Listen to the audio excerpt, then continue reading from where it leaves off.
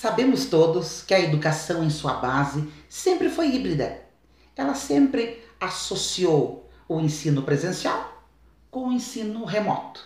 Desde muito tempo, as, é, é, o ensino presencial com as pesquisas feitas com os pais, com os livros, com as enciclopédias, mais atualmente com a internet. Então sempre se aliou a educação e a tecnologia. Isso é o hibridismo da educação, que para nós não é novo. O que torna o que é, é, é diferente são algumas metodologias que precisamos, que a gente precisou adequar, inovar por causa da pandemia que acabou acarretando aí no isolamento social e precisa, a gente precisou criar outros mecanismos né, é, é do ensino híbrido, que para a gente não é novo, e a gente né, tá saindo muito bem nessa.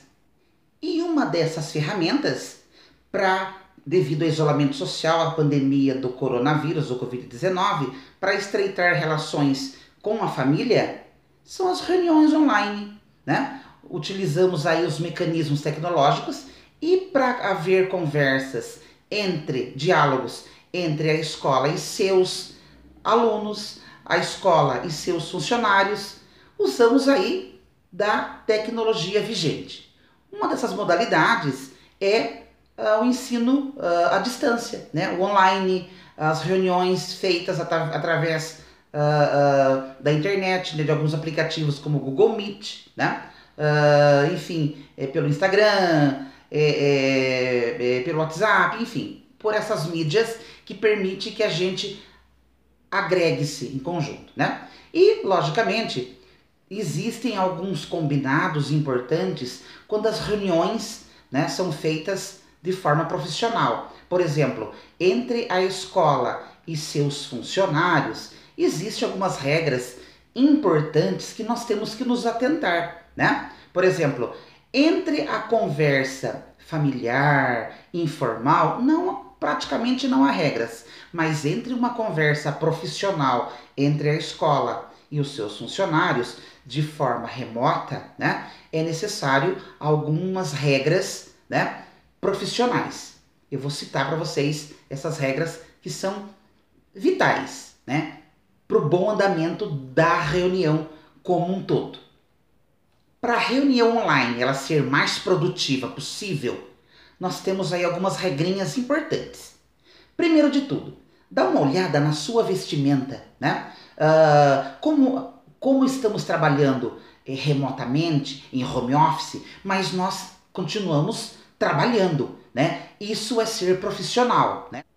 Primeira regra, a roupa adequada é importante, mesmo sendo o trabalho realizado em casa, mas é o nosso trabalho, né? Ele envolve profissionalismo.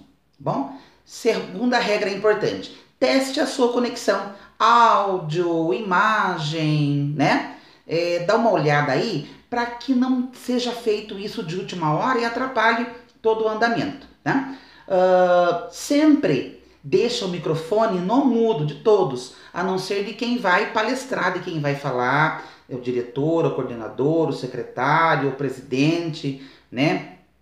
Enfim, uh, deixa o microfone no mudo. O foco sempre na reunião, né, para que ela seja mais produtiva possível e acabe escolhendo aí um ambiente é, agradável, né? Como vocês estão expondo a particularidade de vocês, eu aqui estou em casa. Eu escolhi esse ambiente mais agradável possível, né? É, mais silencioso possível, porque é um ambiente de trabalho. Devemos ser profissionais, embora estejamos em casa, mais despojados, é normal. Mas é um ambiente, mesmo assim, estamos trabalhando. Então, é imprescindível que neste momento também sejamos profissionais. É como se a gente tivesse no nosso local de trabalho.